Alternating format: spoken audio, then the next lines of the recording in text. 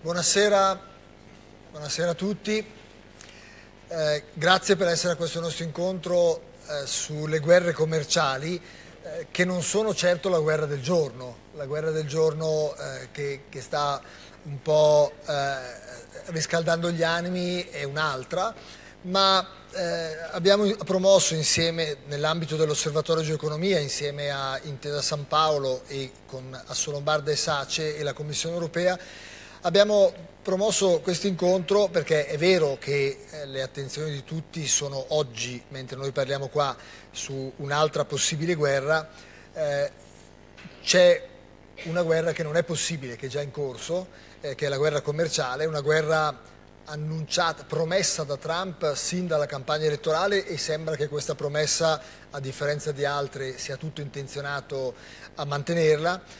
Eh, ed è una guerra dove eh, si scontrano più che in Siria i veri grandi del mondo. È una guerra dove più che in Siria anche noi europei siamo eh, fortemente della partita, come ci dirà sicuramente Carlo Altomonte insieme agli altri relatori che ringrazio per essere qui e che presenterò individualmente passando la parola. Ed è una guerra che può avere un forte impatto negativo come in sincronismo incredibile hanno ricordato ieri eh, la Lagarde, la Presidente del Fondo eh, Monetario Internazionale e poche ore fa il direttore dell'Organizzazione Mondiale del Commercio. Eh, I termini della guerra vi sono noti, i passaggi, l'escalation. Eh, un anno fa Trump lancia una, eh, un'investigazione sull'acciaio, esattamente un anno fa, poi eh, inizia con timidi, timidi non nell'entità, timidi per il settore coinvolto, dazi sui pannelli solari e le lavatrici, il primo marzo i dazi su acciaio e alluminio, poi con delle esenzioni quasi per tutti, ma delle esenzioni a scadenza fino al primo maggio e che sono un'arma di ricatto significativa per i singoli interlocutori. Eh, un mese dopo la, i dazi sull'acciaio e l'alluminio, il paese che non ha avuto esenzioni ha la prima reazione, cioè la Cina un mese dopo, il 2 aprile, con 133, 133 prodotti americani, valore 3 miliardi. Il giorno dopo, cioè il 3 aprile, l'America annuncia, questi non sono effettivi, annuncia dazi su 1300 prodotti, valore 50 miliardi, la Cina che sull'acciaio ci aveva impiegato un mese, il giorno dopo risponde con un'altra promessa, minaccia, non è operativo, su 106 prodotti 50 miliardi. E lì arriviamo pochi giorni fa con Trump che rilancia con una ipotesi, non è una certezza, su 100 miliardi. Non è la prima volta che, ciò, che queste guerre eh, avvengono, ci sono dei precedenti, in particolare nel 1930, che non ebbe grandi effetti positivi sull'economia americana. Eh, innegabilmente, al di là del fastidio eh, che può creare eh, dei pruriti, Trump ha delle ragioni nel porre alcune questioni, ha delle ragioni nei confronti della Cina e non è solo nel sollevare queste ragioni, eh, ma eh, ma procede solo e pur avendo dei possibili compagni di viaggio tende quasi, penso all'Europa, a, a, metterci in difficoltà, quindi a creare reazioni diverse e, e, e qui arriviamo al, all'oggi. Arriviamo all'oggi in una situazione in cui eh, quello che con tutti i suoi difetti era un sistema di regole con tutti i suoi difetti, ma ricordava prima nel pre-incontro Domenico Siniscalco, eh, le, gli accordi multilaterali sono sempre imperfetti, ma complicatissimi da raggiungere, come sappiamo nel caso dell'Organizzazione del Commercio, e quando li distruggi eh, puoi anche essere veloce, ma per ricostruire qualcosa ci vuole il tempo che ci è voluto la volta precedente, siamo alla situazione dell'oggi in cui noi questa sera ci interroghiamo proprio su alcuni di questi temi. Ci interroghiamo innanzitutto su eh, dove va questo sistema di regole, cioè dove va l'Organizzazione Mondiale del Commercio, ci interroghiamo del perché e del significato profondo di questa, di questa guerra. E poi per cerchi concentrici arriviamo a interrogarci su cosa, cosa c'è in gioco per l'Europa, cosa c'è in gioco per l'Italia e cosa c'è in gioco in particolare sul primo settore colpito, quello eh, dell'acciaio, eh, e cercheremo di dare alcuni, eh, alcune risposte a, a, questo, a, questi temi. Io partirei subito eh, dal, dal primo intervento partiamo dal livello globale, partiamo dall'Organizzazione Globale del Commercio, l'Organizzazione Mondiale del Commercio, il WTO. Abbiamo il piacere di avere con noi il vice capomissione della, eh, della eh, rappresentanza europea alla WTO, eh, Paolo Garzotti, e chiederei a lui che cosa stiamo rischiando e quali sono, cioè, negli ultimi tempi il WTO è stato presentato e visto da molti come un morto che cammina, proprio perché è difficile eh, eh, creare regole globali, eh, siamo fermi su una serie di processi da tempo, ma l'elemento nuovo è che Trump sta dando al morto che cammina il corpo mortale. Ecco, vogliamo che, che tu ci guidassi un po' a comprendere cosa sta succedendo, qual è la posta in gioco, cosa si rischia e quali sono le posizioni degli attori. Prego. Grazie mille, prima di tutto grazie all'ISPI per eh, l'invito. Eh, normalmente io mi occupo di commercio da troppo tempo per confessarlo e normalmente quando si comincia a leggere troppo di commercio sui giornali è sempre per delle cattive ragioni, perché sono sempre cose eh, eh diciamo difficili. Eh, L'OMC è vero, l'Organizzazione Mondiale del Commercio non ha eh, l'ultimo accordo su cui ci siamo Ehm, eh, abbiamo avuto un risultato nel 2013, è l'accordo sulla facilitazione degli scambi. Ma l'OMC, l'importanza dell'OMC è il sistema, è un sistema giuridico internazionale che prevede delle regole uguali per tutti, o quasi con qualche eccezione per i paesi in via di sviluppo, prevede un sistema di regolamento delle controversie che eh, ha portato in passato a contenere il problema fondamentale eh, che stiamo vedendo adesso, quindi le scelte unilaterali in cui un paese che è più forte degli altri grazie al suo peso eh, industriale, economico e politico può imporre unilateralmente delle scelte eh, agli altri. Ehm, che, quali sono i rischi che sta affrontando l'Organizzazione Mondiale del Commercio adesso? Il primo, secondo me, è esattamente questo che ho appena detto, le iniziative unilaterali. Quando si comincia non si sa eh, dove, va, dove si va a finire l'escalation eh, che tu hai indicato è, è, è, chiara. Speriamo ancora noi eh, nel, eh, nell'Unione Europea che queste minacce siano diciamo, un cane che abbaia e che non morde ancora, ma più diventano eh, chiare, dirette e forti, più è difficile politicamente per eh, i cinesi da una parte e per l'amministrazione americana da quell'altra non, eh, non dare seguito.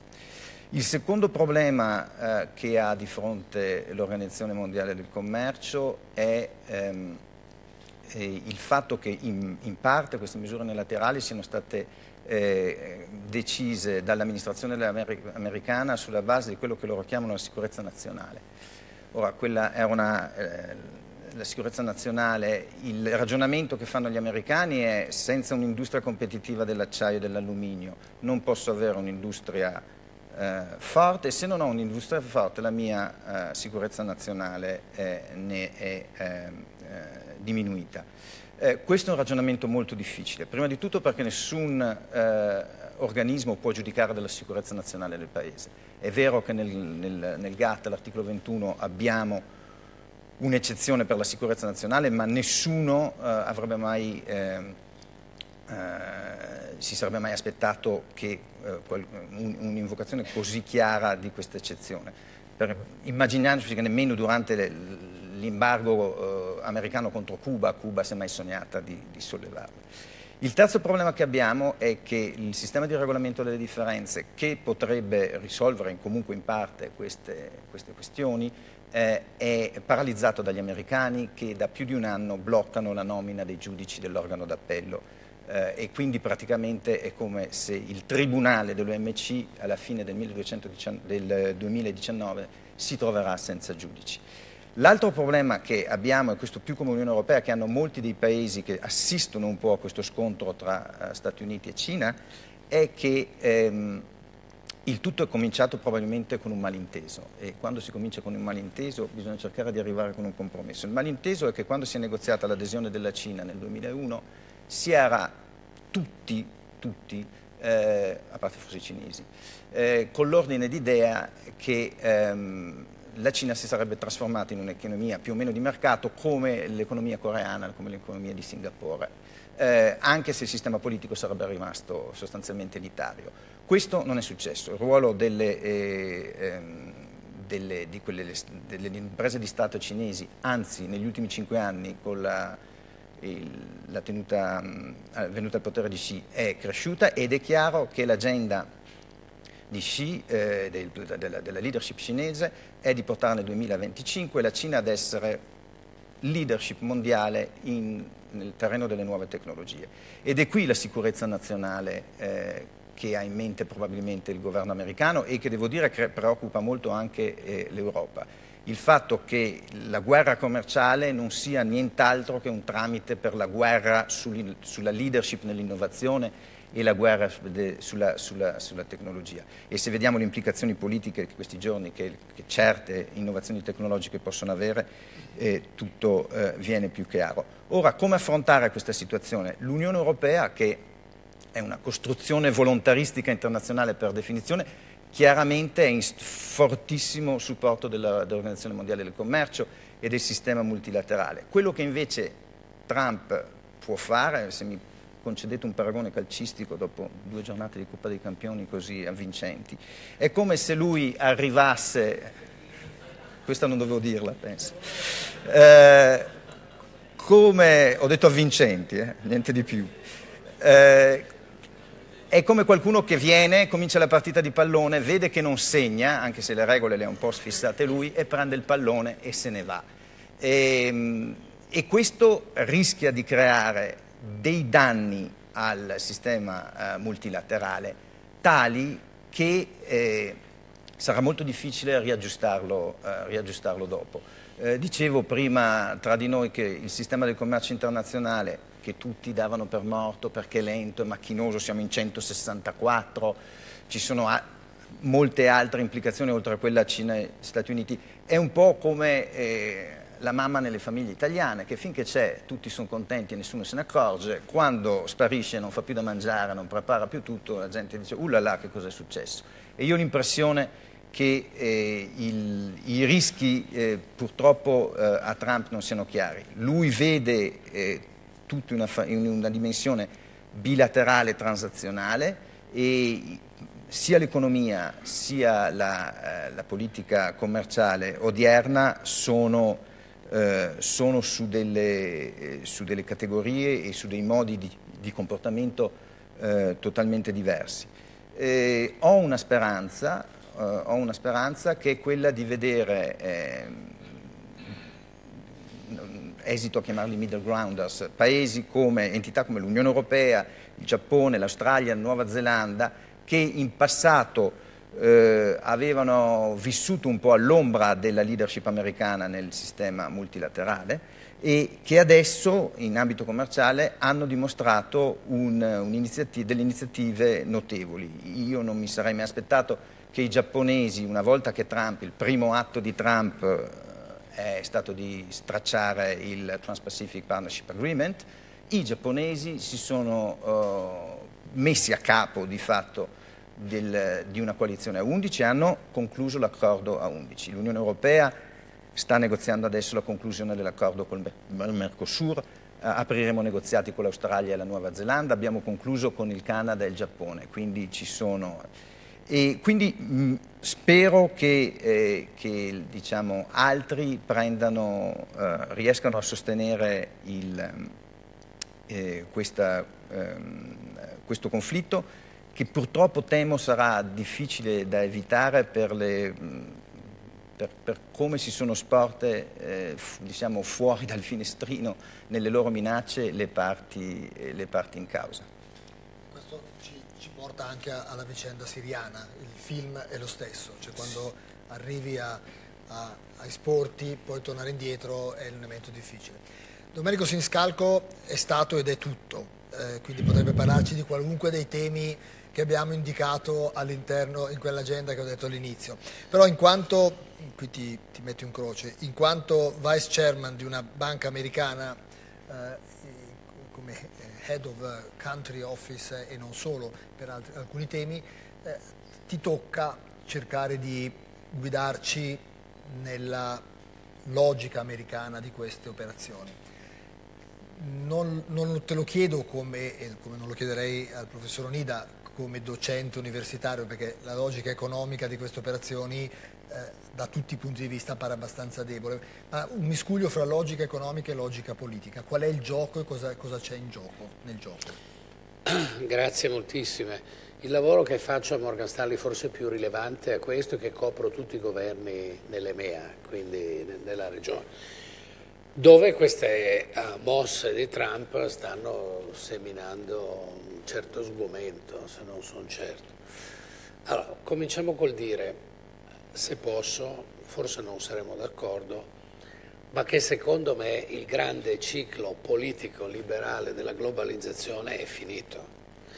Il populismo che prevale a livello di numeri, non voglio dire a livello di politica in tutti i paesi, secondo le analisi che io ho visto eh, e letto, mette nel mirino eh, due cose, la classe dirigente, le elite considerate corrotte, distanti dalla gente e così via, ma soprattutto questo modello di globalizzazione. A Davos era stato presentato uno studio statistico che mi sembrava nella sua semplicità molto interessante, che correla i votanti della Brexit contro, con l'anti-europeismo, anche in altri paesi, con l'antiglobalizzazione. Cioè è un antigenerico che si declina poi eh, sui diversi target. Quanto è forte, quanto non è reversibile o lo sia, vedremo, ma questo è un po' i nuvoloni che stanno, stanno all'orizzonte. Uh, se voi volete, l'anno scorso, intendo dire a febbraio, proprio nei giorni in cui c'era l'insediamento di Trump, c'era Davos, venne Xi Jinping, sembrava di sentir parlare Tony Blair, no? anche troppo, perché poi non è che sono tutte rose e fiori neanche loro, no?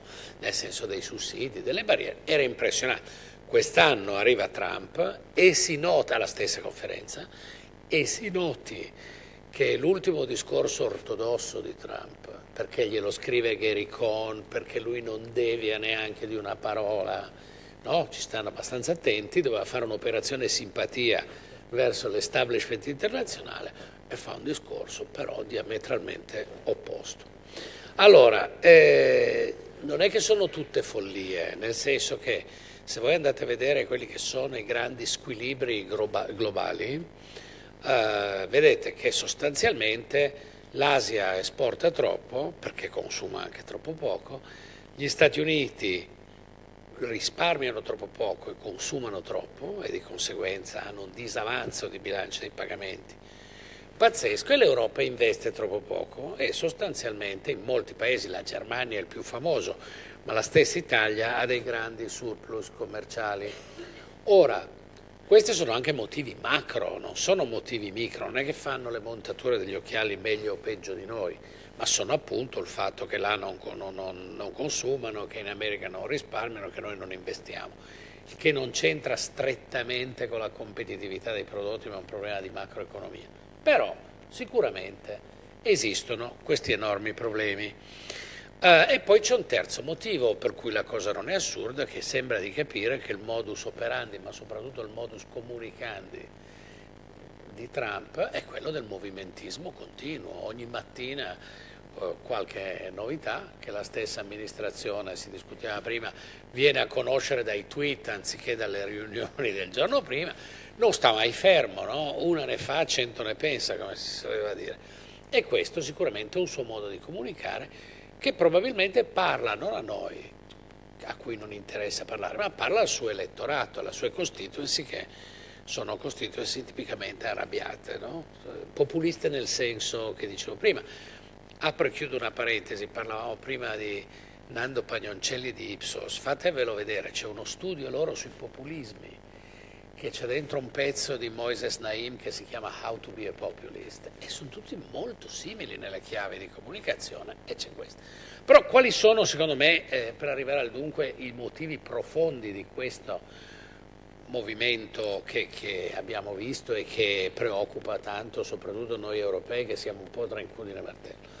Allora, chi è nell'amministrazione, io ne conosco un paio e ci siamo parlati in vista del Fondo Monetario che è la settimana prossima, eccetera, ti dice lui ha spiegato che vuole riequilibrare il surplus commerciale con la Cina di 100 miliardi. Il, disavanzo, scusate, il surplus della Cina e il disavanzo americano bilaterale di 100 miliardi. Il disavanzo americano verso la Cina sono circa 600 e un riequilibrare 100 non è poco, ma non significa neanche capovolgere le cose. Uh, interessante che quella che tu hai presentato come la guerra dell'acciaio là con sprezzo e non bisogna mai essere sprezzanti in questi casi perché si paga ma la chiamano la guerra del maiale perché c'è stato anche tutto un batti e ribatti sulle tariffe, sui prodotti, su INI che è anche questo paradossale perché forse il problema dell'interscambio tra Cina e Stati Uniti non è la carne di maiale, no? però va bene. Questo è un ordine di considerazioni. Secondo ordine di considerazioni a cui io credo molto di più, invece, è che qui stiamo parlando di supremazia eh, sulla scena globale di Stati Uniti verso Cina. Allora è una cosa completamente diversa. Non l'abbiamo nominata, ma guardate che va letta qua il discorso di Broadcom Qualcomm, cioè il fatto che non è un problema di commercio estero, è un problema di investimento. Ma è stata bloccata questa joint venture perché significa, perché secondo chi l'ha fatto, cioè questo eh, organo americano che si chiama CFIUS e poi secondo la Casa Bianca, questa cosa avrebbe dato alla Cina una leadership globale sul 5G, cioè la broadband eh, che consentirà di fare delle cose pazzesche come operare a distanza, eh, nelle operazioni che ne so io, cardiache, umane e così via, non volevano perdere. Quindi stiamo parlando di questa cosa qua.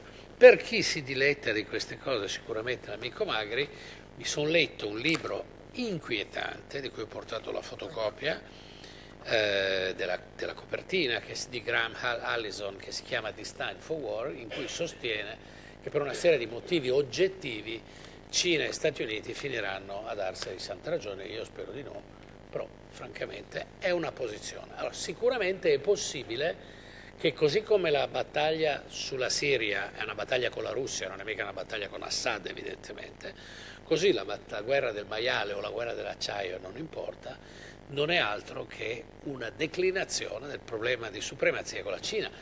Apro e chiudo una parentesi brevissima. Buon senso direbbe che da quando i big data e l'intelligenza artificiale si mischiano, si debba fare qualcosa sui famosi giganti della Silicon Valley, Facebook per i messaggi, Google per gli indirizzi, Amazon per le consegne e così via. Eh, adesso i telefonini importano meno, ma ci sono anche queste cose qua. Non li romperanno mai da un punto di vista antitrust, si dice a Washington, ascolto, eh, non, non li romperanno mai questi grandi monopoli perché se li rompessero creerebbero uno svantaggio degli Stati Uniti nei confronti della Cina, Alibaba e quant'altro, che è quello che non vogliono fare. Conclusione della vicenda, noi poveretti siamo in mezzo tra incudine e martello, perché? Perché poi a me fa morire da ridere che in Italia ci sia qualcuno che invoca i dazi. Caspita, siamo un paese in surplus di 50-60 miliardi, pari a tre punti e mezzo di PIL e cosa facciamo? Ci vediamo a fare i dazi nell'idea che ci aiuti una guerra commerciale essendo in surplus. Bisogna andare dal professor Onida, che è stato un mio grande maestro, a, a sentire come, come, come gira sto ragionamento, perché siamo nel paradosso, no? Tu puoi fare una guerra commerciale, alzare dei dazi se sei in deficit, ma non se scade. Detto questo, come ha fatto vedere l'introduzione di Magri, c'è stato tutto un batti e ribatti, no? Chiamerebbero gli economisti un tit for tat, in cui uno faceva una mossa, l'altro faceva l'altra, una contromossa e così via.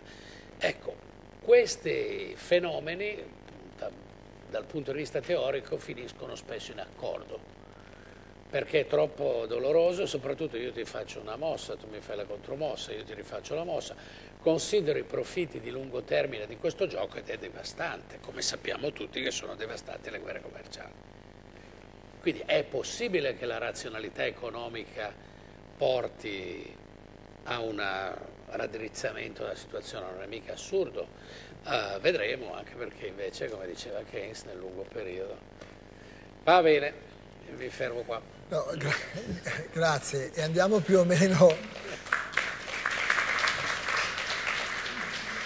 No, eh, rimaniamo a Keynes a quell'epoca più o meno, perché volevo, eh, Alessandro Terzulli è Chief Economist di SACE, eh, ma prima di chiedere a lui un po' che cosa rischia, eh, ne parlava già Siniscal, con l'Italia in questo gioco, ti volevo chiedere di fare un passo indietro uh, ai precedenti, eh, perché non è la prima volta che c'è una guerra, c'è stata la guerra del pollo, c'è stata, adesso c'è la guerra del maiale, sembra, insomma, sembra quasi una, eh, di essere a Italy, ma eh, dici, Italy nel senso negozio, di, eh, guidaci un pochino sui precedenti, su come sono nati, come sono nati a finire e che impatto hanno avuto. Sì, infatti, innanzitutto grazie. Se diciamo cerchiamo di orientare un po' il nostro sguardo, forse all'ultima decina di anni, e non lo dico per dare ovviamente un alibi a Trump né per sminuire quello che sta accadendo ora, però eh, diciamo, ci accorgiamo che secondo le rilevazioni del Global Trade Alert, tra l'altro diciamo, una fonte molto importante nata proprio diciamo, nel momento di massima intensità della crisi finanziaria globale che ricordo a tutti nasce come un grandissimo shock nel mercato bancario ma le cui prime implicazioni sono proprio sul commercio internazionale. La recessione del 2009 è fortemente guidata da uno stop alla domanda estera. E benissimo, alcuni dati, vi do pochi numeri per non ovviamente esagerare, ci dicono che da novembre 2008 a giugno 2017 quindi Trump c'entra veramente poco in questo, le misure protezionistiche adottate in più hanno superato il numero di 8.000. Diciamo, gli Stati Uniti anche qui indipendentemente da Trump, sono stato il primo paese promotore di queste misure. È una broader definition questa, eh? una misura abbastanza vasta delle misure protezionistiche, seguiti da India, seguiti da Russia, eppure noi italiani tutto sommato non siamo rimasti così indietro, abbiamo eh, approvato e diciamo, implementato più di 300 eh, misure.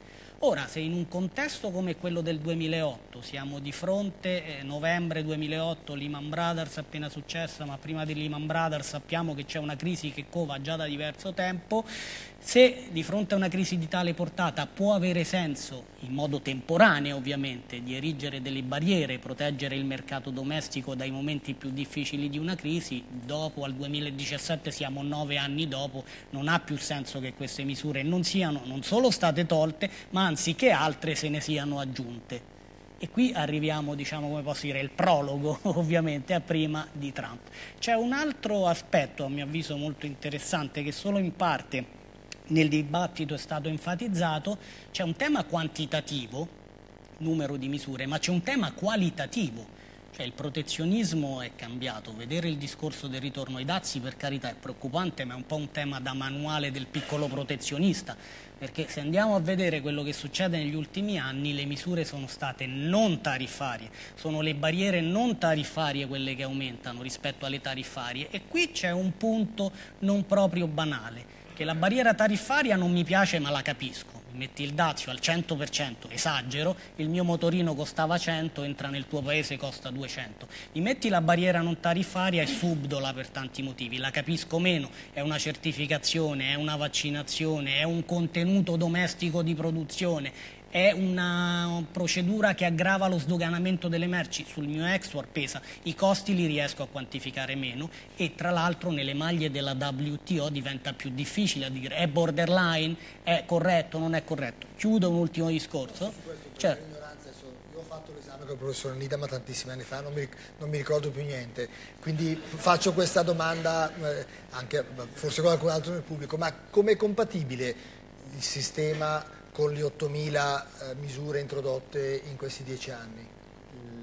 Nella risposta la database a cui fa riferimento dottor Tassui è, una database fatta, penso quella di Simon Evanet eh, con Global Trade Alert. Eh, c'è di tutto, cioè, ci sono no, le misure antidumping certo. e c'è un certo livello di interpretazione. Bisogna dire che negli ultimi 3-4 anni eh, la, le misure, conta anche le misure di liberalizzazione Simon, e ce ne sono anche molte che, sono, ma, che hanno favorito il commercio. Una misura antidumping in piena linea con l'accordo antidumping del, um, eh, dell'Organizzazione Mondiale del Commercio, Evenet la mette come eh, misura protezionistica, però è compatibile. Che anziché 8.000 siano 4.000, com'è possibile 4.000? Eh, cioè, ma tecnicamente C'è- il sistema... può darsi che tra quelle ce ne siano 3.000 che non sono compatibili. Noi nell'Unione Europea siamo in grado di portare, nell'Unione Europea col sistema, eh, di, col- col- con la potenza amministrativa che abbiamo, possiamo portare alla WTO 4, 5, 6 casi per anno massimo. eh, perché eh, non so se qualcuno ha letto gli rapporti, del, quando- quelli del GATT erano 40 pagine, adesso sono 5, 6, 7, 800 pagine, sono, ci sono stuoli di, di- di uffici legali americani, europei, giapponesi e cinesi, cioè sono di una complessità estrema, quindi può darsi che ci siano, eh, i- i- si porta una causa all'OMC se c'è una grave violazione sistemica, se c'è un importante interesse commerciale e, e quindi molte di queste misure vengono prese perché si sa che alla fine ehm, eh,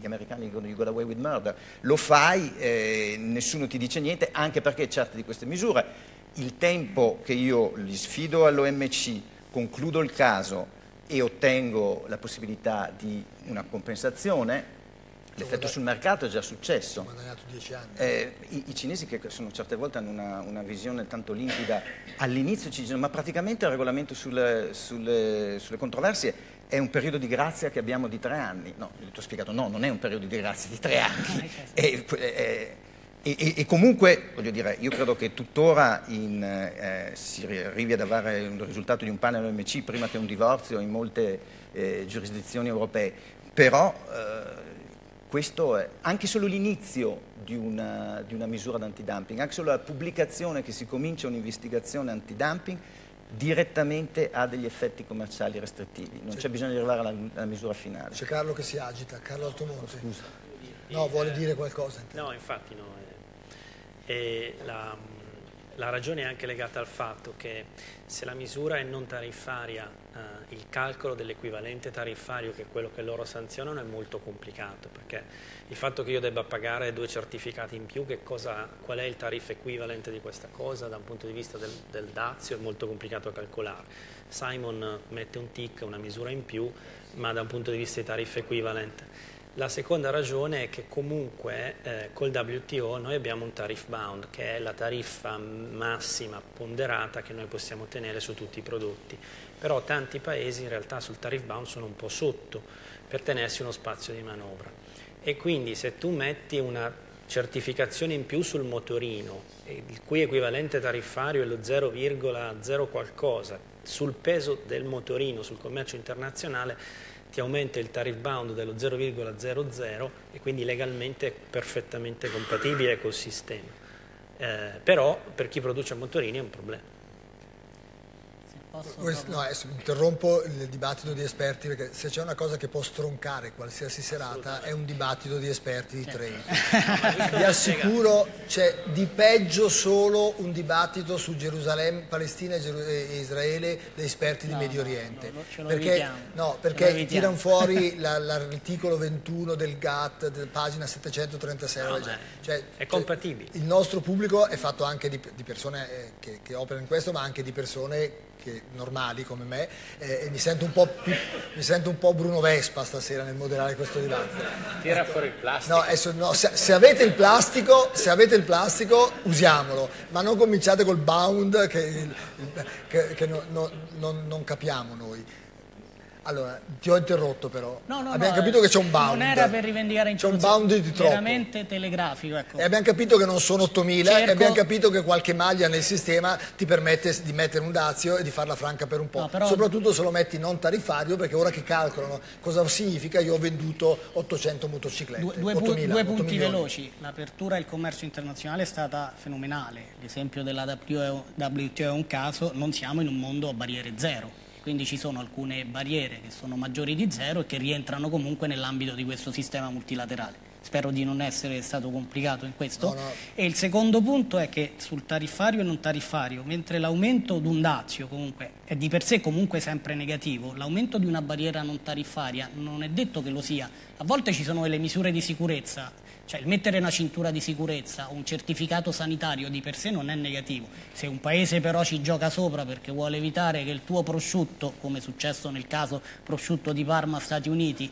entri in quel mercato, questo è un caso vero ovviamente che è successo con una contesa che è durata anni, vinta solo alcuni anni fa, allora lì ovviamente ci si insidia una misura di tipo per, per restrittivo. Alessandro, la, la domanda che, su, su, cui vorrei capire e aiutare chi è qui stasera a capire è ammettiamo che, come è stato detto, che negli ultimi anni tu, ci stai dicendo non è la prima volta, in questi anni ce ne sta, sono state tante, non sono 8.000, sono state 3.000, ma possiamo dire che questo giro che, a cui stiamo assistendo, a, eh, lavatrici, eh, eh, cos'era l'altro? Eh, pannelli, pannelli, solari, solari acciaio, acciaio e ora i 123 prodotti, i 23 prodotti, è un evento clamorosamente eccezionale? Sì, cioè, secondo me arrivando fino a acciaio e alluminio no, erano eventi di scarso conto. La loro entità perché era importante perché era l'inizio di una serie di azioni e di, re, di reazioni che ovviamente non finivano lì. L'escalation è il problema.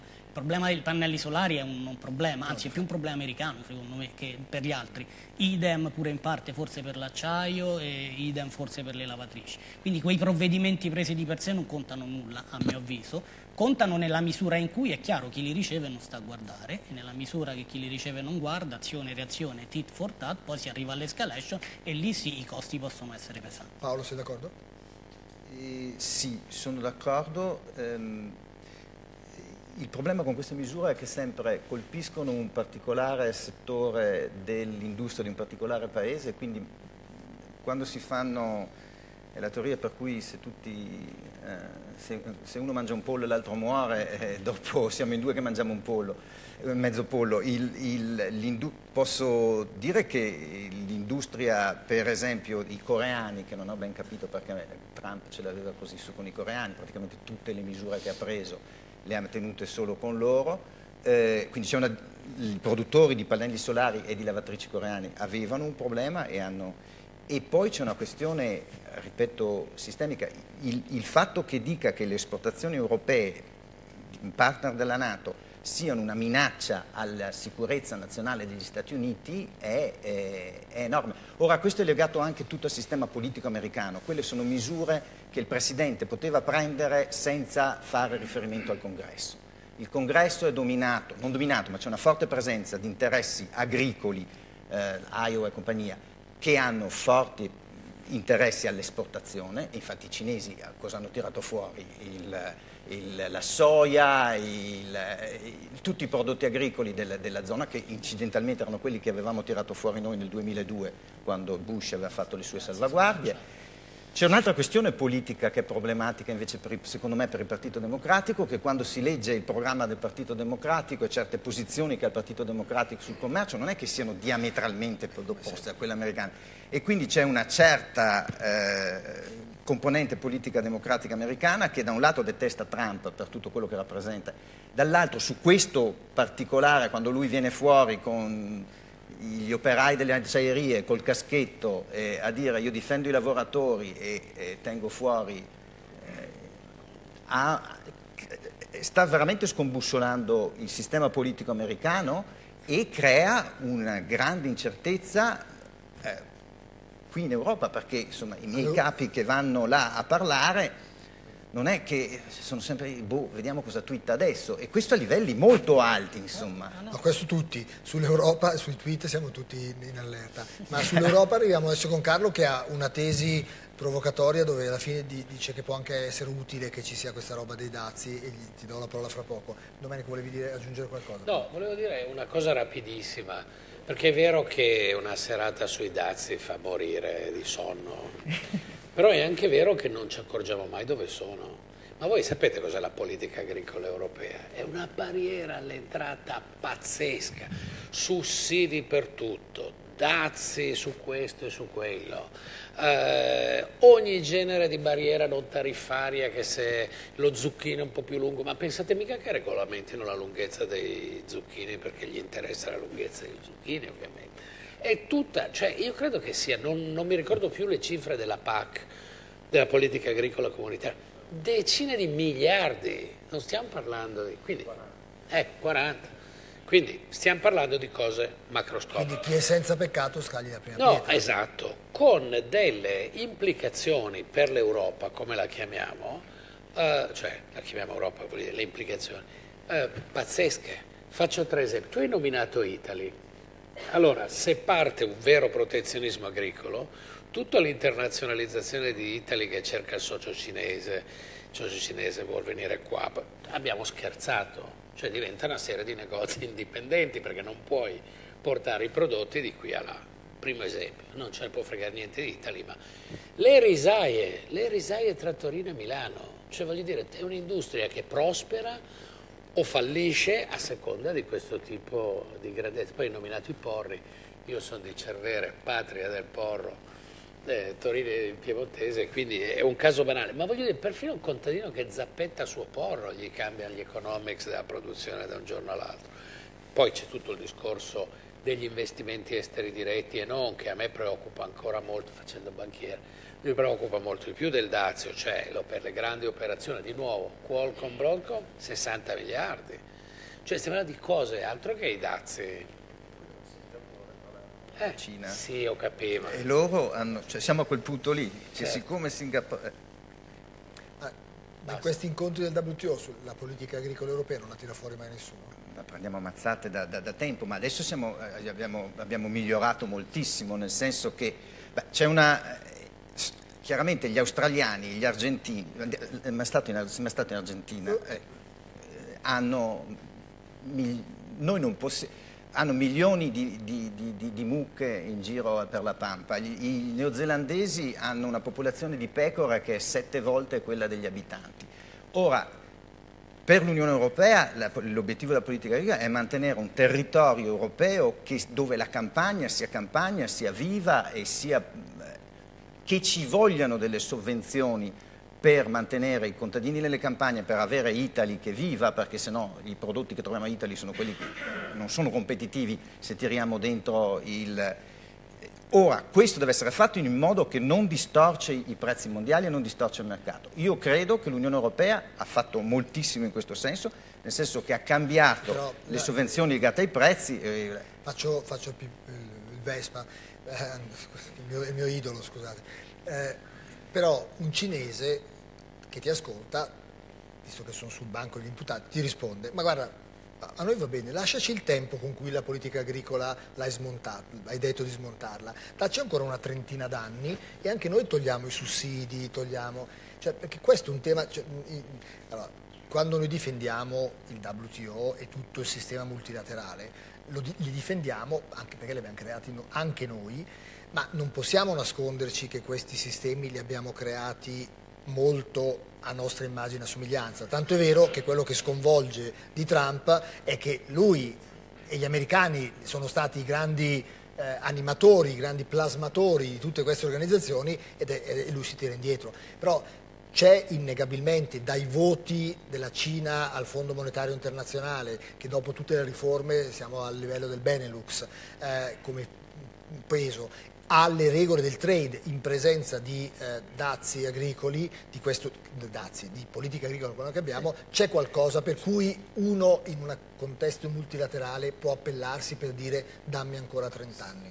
Noi, abbiamo, noi le regole dell'OMC le rispettiamo. Nel 1995 abbiamo fatto il WTO sulla base dell'inizio delle riforme agricole e gli Stati Uniti hanno voluto un regolamento delle controversie nel WTO perché volevano attaccare la politica agricola europea fondamentalmente. I primi due casi importanti sono stati quelli sulle banane, eh, paradossalmente Cichita, non che gli Stati Uniti esportino banane ma avevano i loro interessi, e la carne agli ormoni.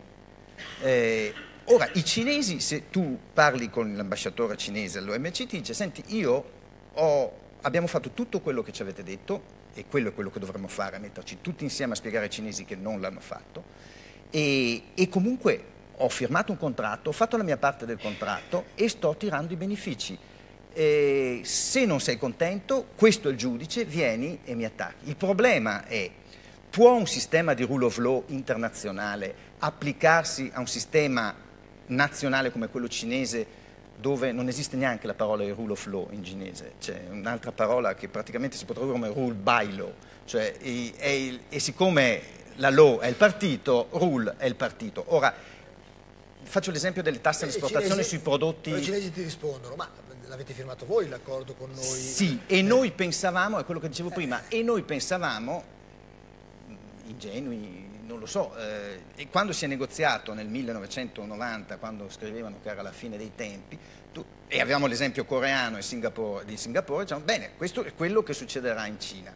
Eh, tasse all'esportazione sui prodotti che servono per le batterie al litio e le terre rare si chiamano.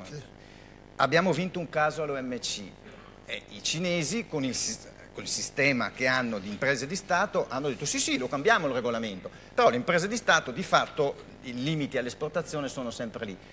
Noi non possiamo fare questo, non, possiamo, eh, non può eh, l'Unione Europea, gli Stati Uniti o delle, delle delle, degli sistemi giuridici come i nostri imporre a dei soggetti privati di comportarsi in maniera che non è quella... Eh. In Cina il problema fondamentale è questo, e quello che dice Trump e Lighthizer, il suo eh, USTR, è non possiamo, con un sistema come l'Organizzazione Mondiale del Commercio, che ha delle regole non sufficientemente sviluppate in materia di sovvenzioni pubbliche, eh, cambiare eh, la situazione in Cina. Quindi ti spezzo il braccio così dopo mi paghi per aggiustartelo. Questo è il principio che... Noi quello che stiamo cercando di fare è di portare nel limite del possibile nel WTO l'idea di rinegoziare queste, le iniziative a Buenos Aires e a Bruxelles quando si sono visti Malmstrom, Lighthizer e Seco, il giapponese, una, il resoconto pubblico, era cerchiamo di rinnovare eh, le regole. Eh, ora, il problema è che per rinnovare le regole devi convincere i cinesi. E, per, e io la, il però problema che ho è che non, il leverage per i cinesi però, non Però non, tornando non al Trump palazzinaro e al modo con cui gestisce vari dossier, eh, potrebbe anche esserci, vengo a quanto diceva Siniscalco prima, eh, una strategia nella, nella, perfidia che è quella di minacciare di rompere in modo brutale eh, per, come, riequilibrare. per riequilibrare. Cioè, voi non lo percepite solo, soprattutto la volontà di rompere e non c'è neanche... No, no, lui ha la volontà di riequilibrare, ma è, è come se hai un muro, vedi una crepa, dici, mola, giusto butto giù il muro, ma se butti giù il muro viene giù la casa, quello è, è il problema. E il problema è che noi come Unione Europea siamo appunto tra l'incudine e il martello. Noi non abbiamo la solidità, gli Stati Uniti possono permettersi un certo protezionismo, nel senso che hanno una tale ricchezza, eh, secondo me, eh, una, hanno, hanno, possono, possono, resistere dal punto di vista economico. Visto, I cinesi hanno un sistema politico che gli permette di dire a certi interessi e stakeholders voi state lì zitti e buoni, prendete mazzate per adesso perché il capo sono io. In Europa abbiamo da un lato la dipendenza economica per le esportazioni, come diceva giustamente, non dico al pari di quelli dei cinesi, ma Trump non ha nessun problema a paragonare la Germania con la Cina da quel punto di vista dall'altro lato non abbiamo la resistenza. Eh, Sull'Europa ci parla ora Carlo sì, Altomonte. No, no, no, mi hai fatto l'introduzione, posso solo dire cosa fa Carlo Altomonte nella vita per chi non lo sapesse. Insegna in Bocconi, è consigliere scientifico in Asso Lombarda e anche ricercatore associato ISPI. Dicevo prima che Carlo, Carlo Altomonte è preoccupato per i motivi detti quanto noi, però in, uno spirito di ottimismo, trova anche eh, alcuni aspetti positivi di tutta questa vicenda per l'Europa, ma soprattutto per alcuni paesi dell'Europa del Sud che hanno qualche fastidio con alcuni paesi dell'Europa del Nord. Prego. Grazie Paolo, grazie a tutti per l'invito e ti prometto che non parlerò più di tariff bound né di calcio. calcio. Perché l'abbiamo già dato. Eh, allora, ehm, in realtà eh, mi piace la definizione dell'Europa tra l'incudine e il martello, nel senso che secondo me l'Europa è un po' tra l'incudine del rischio di un cambio di sistema di regole che va verso un uh, sistema diciamo, più power based verso, rispetto, quindi basato sulla politica di potenza bilaterale eh, e della capacità dei paesi di chiudere degli accordi eh, rispetto a un sistema di regole multilaterali. Questo per l'Europa è un rischio, è un po' l'incudine.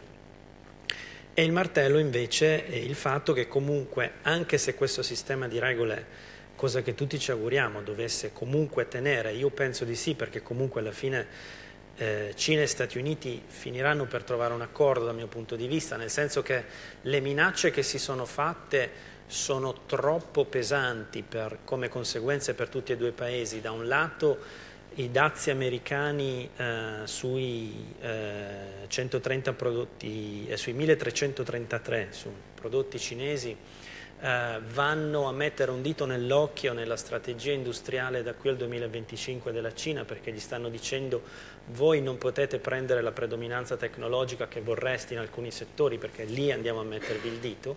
Eh, sono annunciati per 50 miliardi, se andiamo a vedere poi in effetti saranno meno di 50 miliardi, ma sono specifici su prodotti diciamo, che in Cina eh, hanno un alto valore aggiunto eh, e, e, quindi eh, sono mirati a disturbare la strategia di crescita del presidente cinese di Xi Jinping.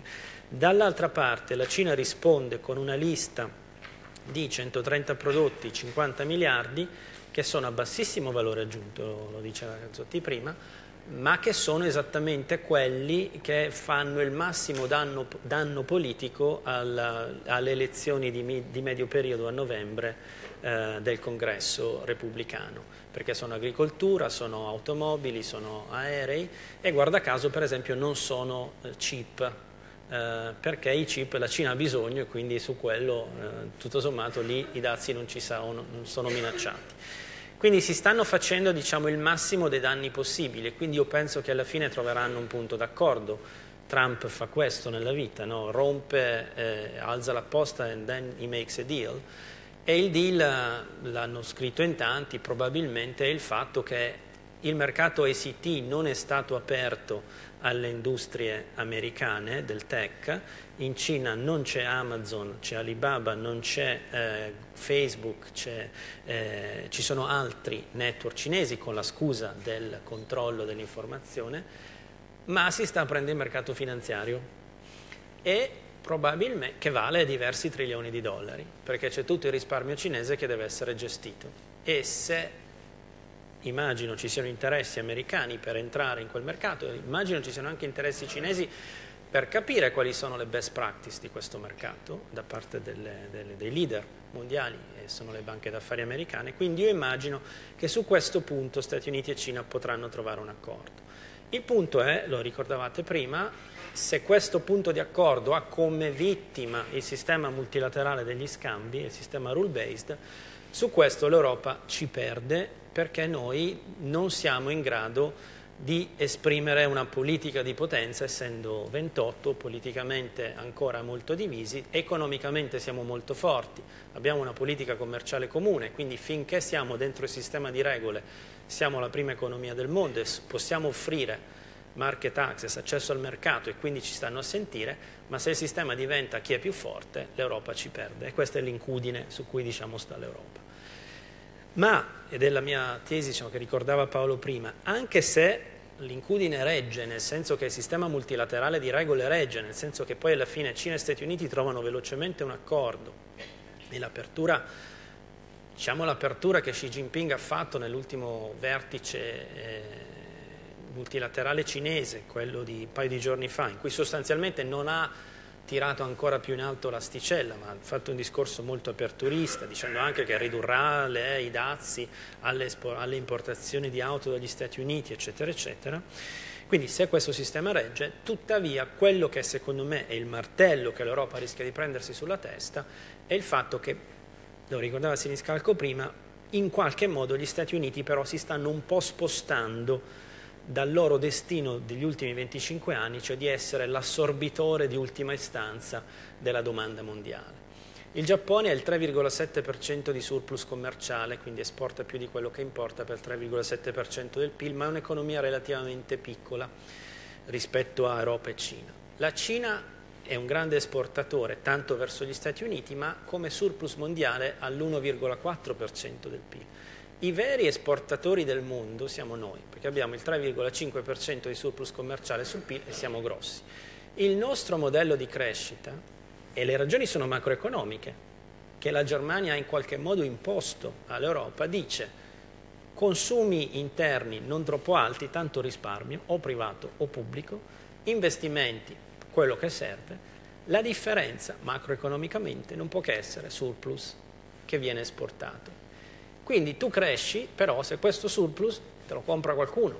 Se qualcuno decide che smette di non voglio più comprartelo e la politica americana sembra andare in questa direzione, tenete anche presente che la riforma fiscale americana crea un deficit di bilancio eh, importante che se associata a un deficit commerciale porta probabilmente a una svalutazione del dollaro ulteriore. Le vostre stime dicono che si romperà 1,30 probabilmente l'anno prossimo e quindi comunque la capacità europea di continuare a esportare tanto e di dipendere dalla crescita non c'è.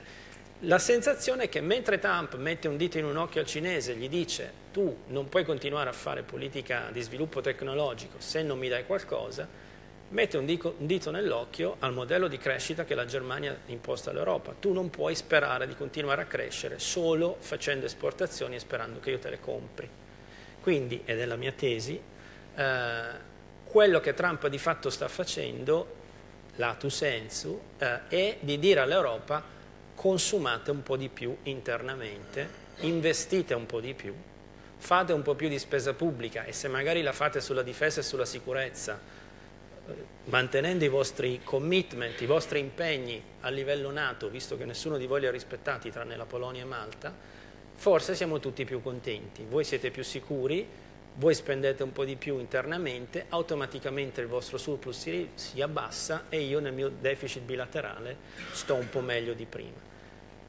Che Trump venga a raccontare questa cosa agli europei è interessante perché paradossalmente diciamo, eh, forse è un modo che l'Italia ha in qualche modo di tirarsi anche un po' fuori no, da questa logica molto tedesca in cui dobbiamo essere tutti per forza virtuosi da un punto di vista del risparmio interno in un momento in cui però la domanda aggregata interna oggettivamente in Europa è ancora bassa, quindi la macroeconomia dice che quando l'economia va molto bene e il tuo prodotto interno lordo cresce tanto, allora è il momento di risparmiare, ma quando hai delle risorse inutilizzate devi spingere un po' di più sull'acceleratore. Faccio solo notare una cosa e chiudo, eh, che chi sta spingendo oggi sull'acceleratore capendo questa cosa e sta spingendo i paesi europei a dire investite di più è il presidente della BCE, ovviamente. Lui sta spingendo dal punto di vista monetario, ma ovviamente può fare quello che, che riesce. Poi sta dicendo ai paesi dovete investire di più. Uh, la Lagarde ha detto e ha parlato molto fortemente contro il sistema dei dazi.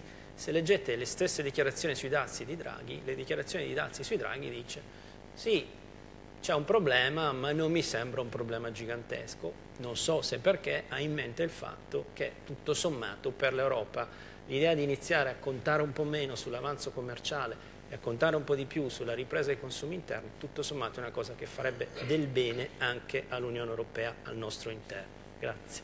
Grazie Carlo.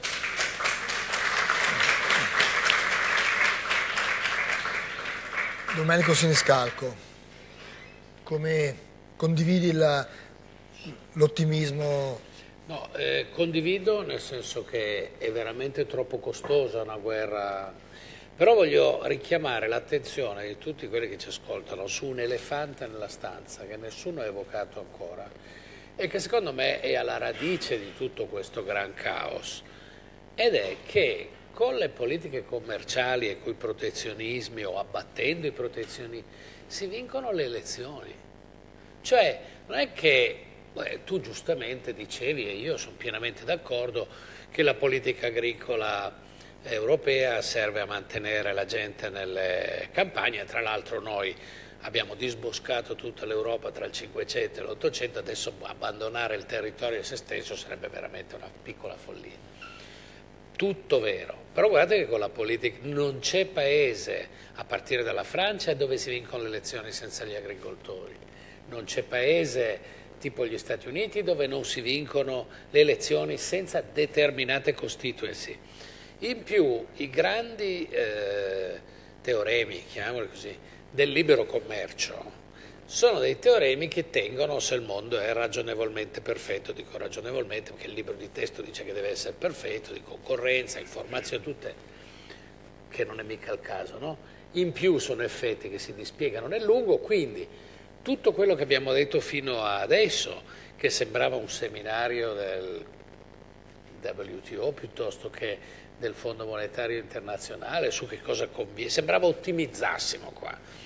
Va benissimo, però guardate che c'è dietro molta political economy, molta economia politica che spiega queste cose qua e che non possiamo capire cosa succede e soprattutto cosa succederà se non teniamo in giusto per complicarci la vita, se non teniamo in considerazione anche questa dimensione politica che secondo me è tutta lì.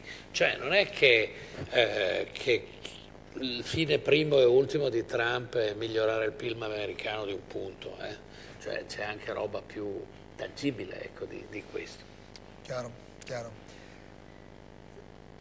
Anche in Italia bisogna vincere le elezioni, eh, cosa, cosa, e quindi anche la politica italiana sarà attenta a questi temi, eh, che cosa rischia l'Italia? Abbiamo parlato di Europa e c'è un messaggio eh, misto di, di Carlo Altomonte eh, che cosa rischia l'Italia? Cioè, già abbiamo avuto delle risposte, cioè un paese esportatore, un continente esportatore ha un problema, nel continente esportatore ci sono alcuni paesi esportatori e l'Italia è fra questo, ma dacci qualche elemento eh, battuta io dico di essere profondamente d'accordo con la considerazione del professor Siniscalco, è talmente evidente, c'è un tema ovviamente di surplus, se sei un paese che ha un surplus del genere come quello italiano non ti vai a cercare di sicuro una guerra commerciale, tanto più che se guardiamo alla crescita italiana i contributi delle fonti di domanda che sono arrivati negli ultimi dieci anni sono arrivati solo dall'export in un modello che per definizione è export led dal momento in cui questo paese si è trasformato da agricolo industriale, dal boom economico degli anni 50 in poi, con vicissitudini varie negli ultimi 60-70 anni, per carità è chiaro quindi che sostanzialmente noi abbiamo da perdere da un discorso di ulteriori restrizioni commerciali fino ad arrivare al caso estremo di una guerra commerciale. Molto spesso a livello mediatico in queste misure di escalation di oggi si parla di trade war, però a mio avviso la trade war è ancora lontana ed è ancora uno scenario con una probabilità di accadimento che rimane bassa è aumentata ma rimane bassa, non è lo scenario principale, quindi insomma, prima di arrivare a una trade war io eh, tenderei a specificare insomma, che eh, ce ne vuole. Per dare appunto un'idea di questo, eh, con tutte ovviamente le approssimazioni che ci possono essere in alcune stime, ci siamo un po' cimentati con un recente esercizio di Oxford Economics che prova a modellare appunto questi shock, queste prime scaramucce, i dazi ovviamente americani precedenti di inizio anno, questi sull'acciaio e l'alluminio, prova a ipotizzare delle risposte, alcune delle quali ci sono state della Cina piuttosto che dalla Corea o di Taiwan e ci aggiunge un'altra componente che non è banale in questo discorso, il NAFTA fa un'ipotesi ovviamente sul nafta perché ovviamente è passato un po' in secondo piano con tutte le ultime notizie ma lì c'è una rinegoziazione abbastanza forte che a seconda degli esiti che avrà pure un impatto sul discorso delle liberalizzazioni, apertura o chiusura degli scambi mondiali lo avrà e loro fanno un'ipotesi un pochino forte sul nafta, ipotizzano a un certo punto gli Stati Uniti escano, seppure l'uscita è soft, insomma, però comunque è un'ipotesi a oggi abbastanza forte. Benissimo, con tutte queste ipotesi qui, facendo girare il modello, abbiamo degli impatti abbastanza forti a livello di PIL mondiale, però andiamo da una crescita che all'incirca si stima sul 3% al 2,5%. Ora mezzo punto di PIL mondiale non è poco, eh? non è poco, però rimaniamo a una crescita che è del 2,5% la crescita statunitense che all'incirca sul 2,5 scende a 1,8, di nuovo 0,7 punti di PIL Stati Uniti è tanto, però continua a crescere all'1,8. Ecco, sull'Italia, sull'export italiano, nell'ambito di questo modello abbiamo una crescita dell'export, qui parliamo ai valori, è una componente quindi tiene conto anche dei prezzi, eh, che è intorno al 6% previsioni sul 2018 e ci scende al 4%, leggermente sotto il 4%, due punti. Non è poco, però di nuovo non è un il tema è uno, quanto questo scenario regge, abbiamo forse visto che già da quello che abbiamo visto negli ultimi giorni già non regge più, due, ammesso pure che reggesse e per quanto questi modelli sono fatti bene, questi modelli tocca pure adattarli a una realtà del commercio internazionale che è cambiata, la frammentazione produttiva, le catene globali del valore, eh, nomi molto appealing ma sono un qualcosa di tangibile, se ovviamente tu sei sempre più presente in termini di contenuto di un tuo prodotto nel valore aggiunto che fanno altri, se le misure non ti colpiscono direttamente comunque ti vengono a colpire. Questo è difficile da stimare in un modello, però gli effetti ce li hai. E l'Italia nelle catene globali del valore, nelle produzioni altrui c'è ed è presente. E quindi questo ovviamente amplificherebbe gli effetti derivanti da misure anche nel caso in cui l'Europa riuscisse a rimanerne relativamente fuori. Quindi non dobbiamo fare scenari di escalation forti per pensare che poi gli impatti sul nostro export e quindi di conseguenza sul principale canale che ha alimentato la nostra crescita negli ultimi anni, insomma sarebbero. Due ultime considerazioni velocissime, c'è un discorso ovviamente micro, chiaro non siamo a uno scenario disperato, a livello micro ci sono delle azioni che si possono fare? Beh, innanzitutto poi l'impatto quando lo decliniamo a livello micro dobbiamo vedere le linee tariffarie e doganali su cui viene preso il prodotto, capire qual è il modello di specializzazione di un paese e andare a capire ovviamente se paga di più o di meno. Da questo punto di vista la competizione la giochiamo a livello di singole imprese, dobbiamo vedere il margine di manovra che ha sul prezzo perché in parte se un margine di manovra ce l'hai, alcune imprese italiane ce l'hanno, sul prezzo puoi riuscire a compensare almeno parzialmente. C'è il tema poi della qualità, ovviamente, nella, e, e, qui sul tema della qualità si gioca una grande fetta dell'export italiano, nella misura in cui la componente qualitativa del tuo export è elevata, un piccolo shock absorber diciamo, lo puoi avere. Ultima considerazione, ritorno al macro perché concordo sul fatto pure che il tema sia prevalentemente macro, anche se non solo, e concordo sul fatto di dire che l'Europa deve avere maggiore domanda domestica, ci mancherebbe. Ecco, in questo sistema però il tutto si bilancerebbe con degli Stati Uniti che hanno forse un po' meno domanda domestica, nel senso di dire abbiamo una crescita al potenziale arriva una riforma fiscale che deve portare questa crescita sopra il potenziale, risquilibrando ancora di più i conti pubblici e i conti con l'estero.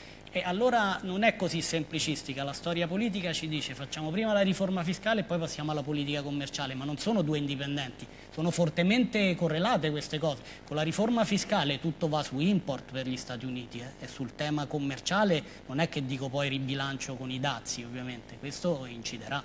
E qui chiudo. Chiaro, chiaro. Grazie mille. Chiudiamo sul sull'unica certezza che abbiamo eh, in questa possibile guerra è che c'è un settore che è già nel mirino. La certezza, e parlo del settore dell'acciaio, oltre a quello dei pannelli e a quello delle lavatrici, eh, è nel mirino, ma a questa certezza si, si contrappone l'incertezza del capire se l'Europa sarà eh, oggetto di questi dazi. Lo era nella, nella lista originaria, eh, il nostro eh, Palazzinaro poi ha, ha, ha, ha, capito di aver fatto qualcosa di bizzarro sul tema della sicurezza invocando a un partner nato eh, il Dazio sull'acciaio come minaccia alla sicurezza nazionale e abbiamo questa sospensione. Ecco, nel, eh, Fabio Bregant è direttore generale di Federacciai, quindi dell'associazione che eh, segue in primis queste questioni. Cosa, che impatto può avere se la sospensione, la moratoria non venisse confermata e che cosa sta succedendo all'interno del vostro settore, qui e altrove. No, grazie, grazie molto, anche perché eh, mi diverto sempre a fare l'ingegnere in un consesso di economisti, un po' il Pierino che, che si trova a, fare qualche provocazione, ma di fatto l'impatto, al di là di tutte le teorie economiche, scende sulle industrie del settore. Eh, noi siamo effettivamente e ci sentiamo eh, tra l'incudine e il martello, è una sensazione concreta e che viviamo tutti i giorni. Eh, perché ci sono una serie di fattori che ci indeboliscono. Siamo tra l'incudine e il martello di questi giochi internazionali economici, siamo però anche divisi, perché siamo divisi al nostro interno tra il commercio dei prodotti siderurgici che fa certe valutazioni, se vogliamo, in riduzione, eh, ma siamo divisi anche in Europa, perché in Europa abbiamo i paesi del nord Europa senza la manifattura che fanno certi ragionamenti e i paesi manifatturieri che ne fanno altri e la Germania che si barcamena un po' tra i due perché è vero che ha la manifattura ma anche l'auto che esporta, anche molto commercio. Quindi è una situazione abbastanza complicata e la Commissione fa quello che può per cercare di tutelare sia l'uno che l'altro, quindi sia l'industria che la parte commerciale. Eh, in tutto questo ci sono altre due cose che girano e che peggiorano la, la situazione. Uno è un po' di disinformazione, perché parliamo sempre di dazi, però eh, facciamo anche un po' di confusione, perché ci sono i dazi di protezione alla, alla Trump, ovvero sia i dazi che vanno a toccare tutti, ci sono quelli di Trump, ma ci sono tanti altri paesi che mettono le misure di salvaguardia contro tutti. Sul solo acciaio dagli altri paesi ce ne sono 16 in vigore e 5 ancora in studio. E poi ci sono i dazi antidumping che sono quelli difensivi mirati contro i comportamenti scorretti di mercato e anche qui a IOSA ci stiamo barcamenando. L'Unione Europea solo per l'acciaio ne ha 21 in essere contro Cina, India e compagnia, ne ha altri 7 allo studio, quindi è un sistema molto complesso questo dei dazi e che forse qualche, qualche informazione in più eh, avrebbe, avrebbe, senso, anzi è molto interessante che si riesca a parlarne in modo divulgativo. E l'altro tema grosso è l'overcapacity mondiale dell'acciaio perché tutto funziona bene, ma abbiamo un overcapacity di 300 milioni di tonnellate al mondo di acciaio tanto questa è solo quella della Cina, 600 complessiva nel mondo. Tanto per dire il consumo d'Europa è di acciaio 160 milioni, quindi vuol dire che la Cina se solo mettesse in funzione metà dei suoi impianti produttivi oggi fermi coprirebbe tutto il consumo di acciaio europeo. Quindi siamo in una situazione effettivamente delicata, siamo tra l'incubo e il martello ma ci sentiamo come un vaso di coccio e di vetro, quindi effettivamente, e non, e non di ferro purtroppo, ma eh, ci muoviamo muoviamo in questa direzione. La valutazione degli impatti diventa fondamentale, diventa fondamentale anche per le misure che chiediamo. Ed effettivamente, eh, se voi avete visto, quando sono usciti i dazi, noi abbiamo chiesto qualcosa di un po' particolare, anzi qualcuno si è anche un po' stupito. Abbiamo chiesto subito alla Commissione europea dicendo intervieni sul WTO, perché questa è la strada maestra rispetto alle regole. Poi sappiamo anche noi che ci sono, lasci due anni di grazia per, per poter eh, sanificare degli effetti, e quindi abbiamo detto ok, bisogna in qualche modo reagire. Però come reagiamo? Noi ci siamo dichiarati da subito contrari alle misure di ritorsione. Adesso si chiamano rebalancing o chiamateli come volete, ma sono queste. Perché il timore di scatenare una guerra commerciale è fortissimo. Quello che sta succedendo tra Cina e eh, Stati Uniti sull'Europa sarebbe devastante.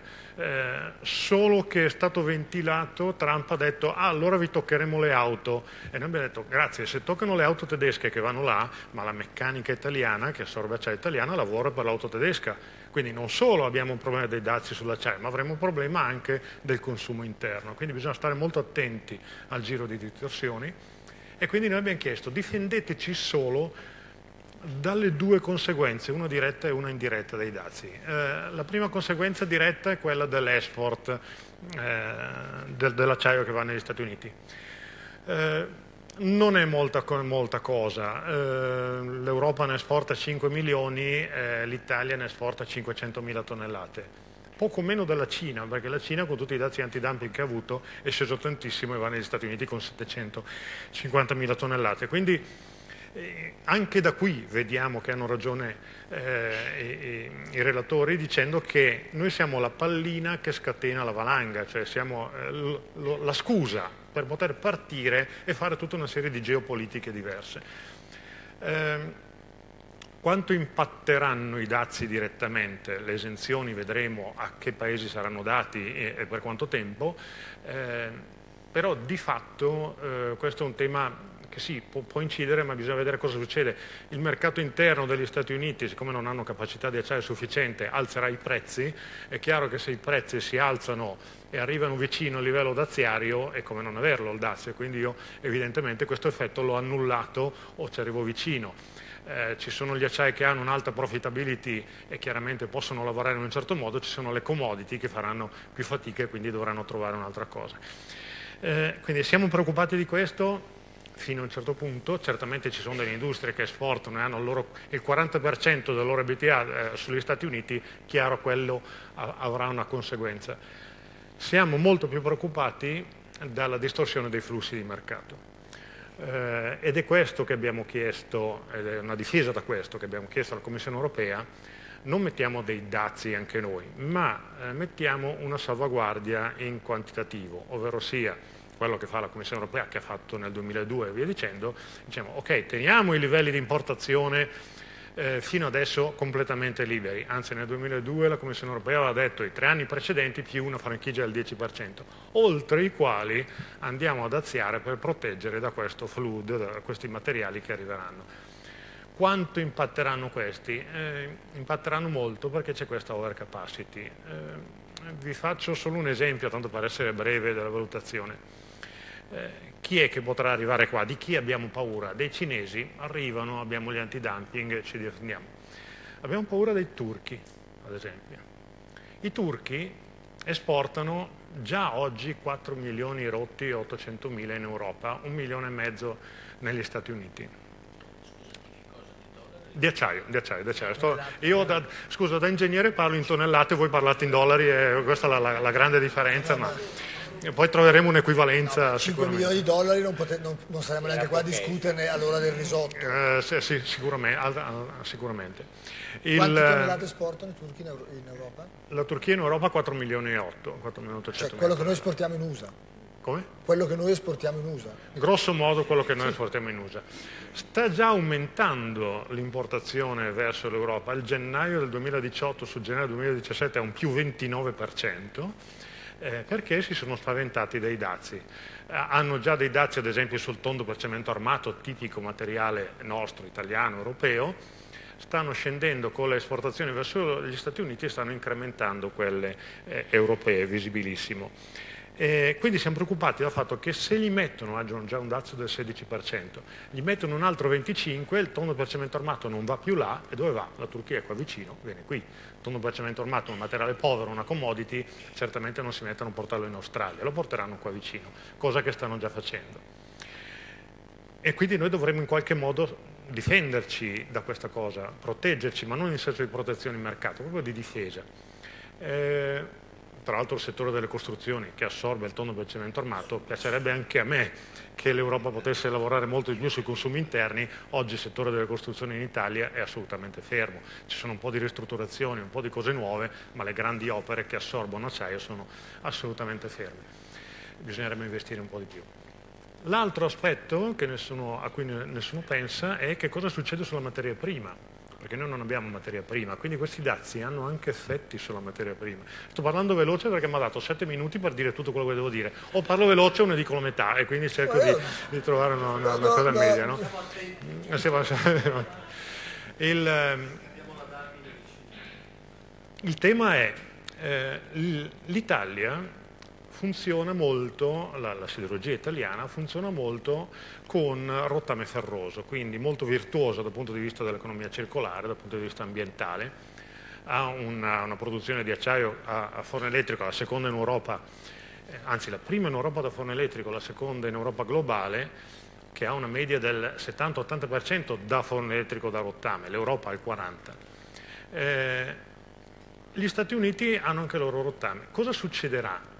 Eh, se il prezzo interno del prodotto siderurgico negli Stati Uniti aumenta, cosa che sta già facendo, c'è qualcuno che già scommette, abbiamo dei target di livello, facciamo già le scommesse sui target di livello, aumenterà anche il prezzo del rottame. Il prezzo del rottame eh, aumentato lo farà uscire meno facilmente.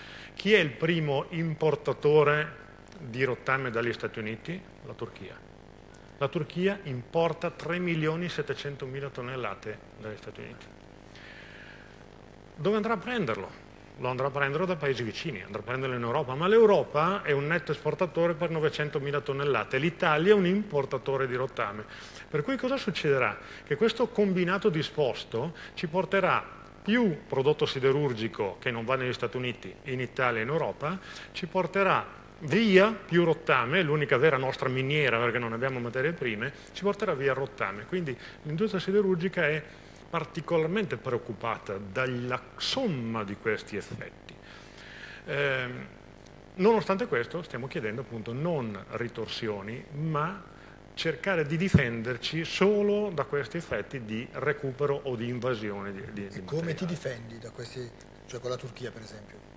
Cosa vuol dire concretamente? La, Turchia, la difesa della Turchia è qualcosa di veramente complicato. No, questo lo sappiamo eh, la, in la generale, Tur- ma eh, nello specifico del, del ton- di queste cose concrete di cui ci sta parlando lei. Bene, noi abbiamo sempre cercato di difenderci con i sistemi di difesa commerciale in vigore.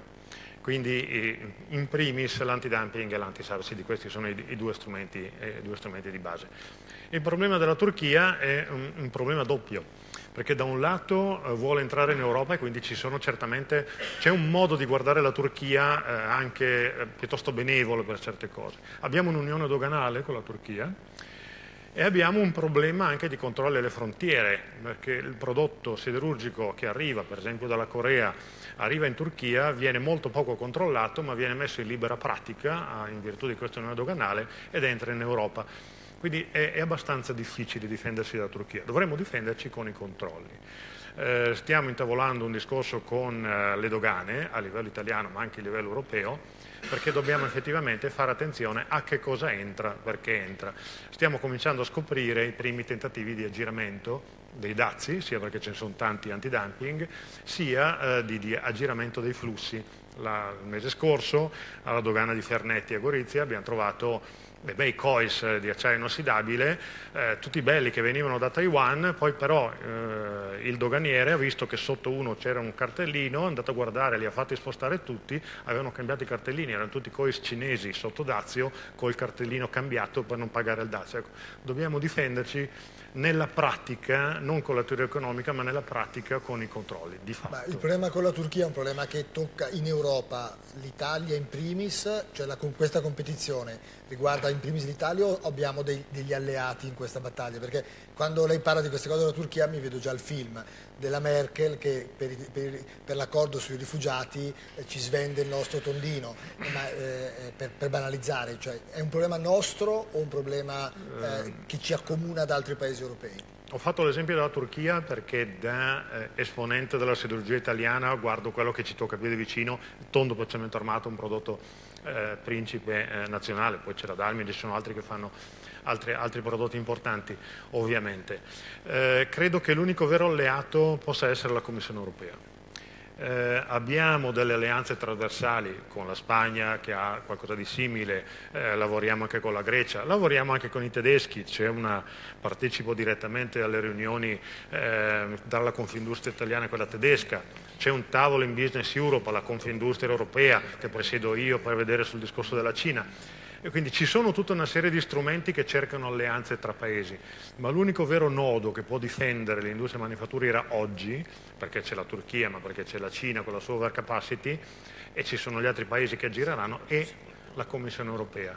Quindi bisogna fare in modo che la Commissione europea lavori e lavori molto velocemente e molto con capacità tecnica e di controllo su questi aspetti. Bene, io... Ma è importare il rottame dalla Cina?